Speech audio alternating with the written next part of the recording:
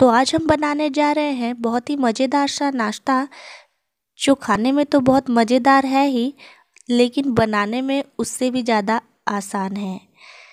तो ट्राई ज़रूर करें आप आज इसे। इसके लिए मैंने ले लिया है एक कप सूजी। आप महीन सूजी या मोटे दाने की सूजी ले सकते हैं। एक कप सूजी के लिए मैंने ले लिया है आधा कप दही। ध्यान रखिएगा कि दही ज़्यादा खट्टी नहीं होनी चाहिए। अब स्वाद के अनुसार इसमें नमक डाल देते हैं। आधा टीस्पून मैंने नमक डाला है।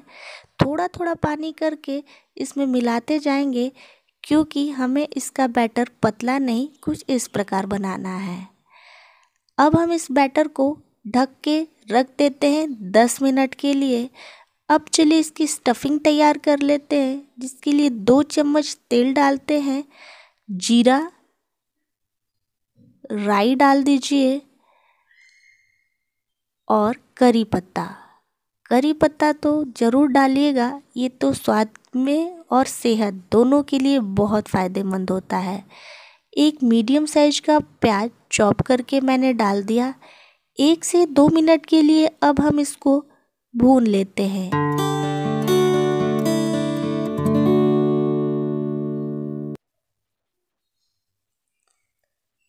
अब हम इसमें एक से डेढ़ चम्मच लहसुन, अदरक और हरी मिर्च का पेस्ट डाल देंगे और इन्हें भी भून लेंगे। आप इन पेस्ट को डालने में बिल्कुल कंजूसी नहीं करिएगा, ये स्वाद को और भी ज़्यादा बढ़ा देंगे। अब सूखे मसाले डालते हैं, जिसमें हल्दी, लाल मिर्च पाउडर, गरम मसाला और नमक। नमक डालते टाइम ध्यान रखिएगा, क्योंकि हमने सूजी के बैटर में भी डाला हुआ है।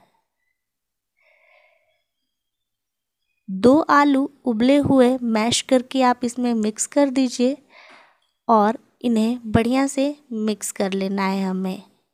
अगर आपने यहाँ तक वीडियो देख लिया है और वीडियो अच्छा लगे तो लाइक करिएगा चैनल पर नए हैं तो सब्सक्राइब करना मत भूलिएगा। थोड़ा सा धनिया डाल के और इन्हें बढ़िया से मिक्स करके एक साइड में अब हमें रख देना है। लगभग सभी के घरों में ऐसा तो कप होगा ही, जिसमें हम चाय पीते हैं।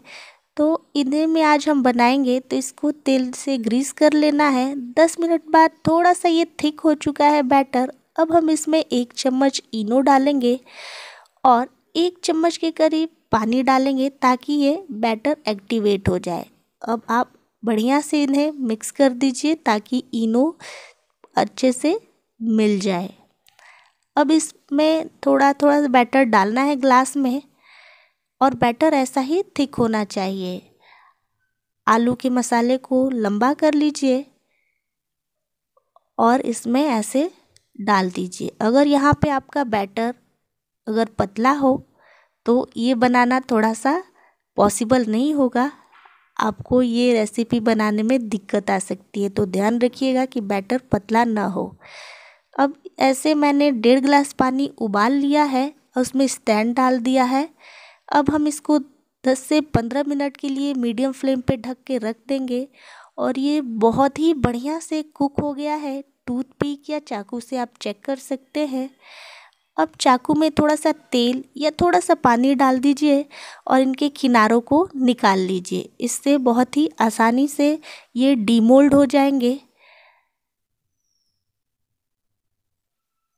आप देख सकते हैं, बहुत ही आसानी से ये बाहर निकल आए हैं और देखने में कितने सुंदर लग रहे हैं। तो खाने में तो लाजवाब बना है।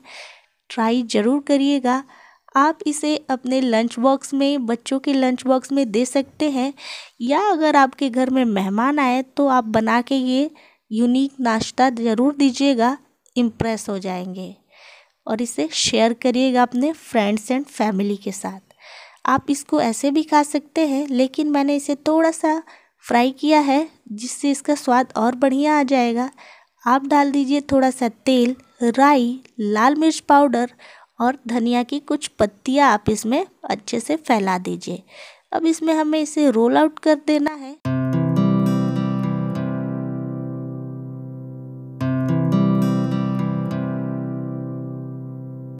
बढ़िया और हेल्दी बन के तैयार हो गया है। आप देख सकते हैं इसमें बहुत ही कम तेल का इस्तेमाल किया है मैंने।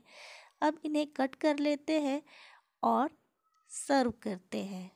आप इसे मीठी तीखी चटनी के साथ खा सकते हैं, चाय के साथ ले सकते हैं और लंच बॉक्स में भी ले जाना बहुत ही आसान।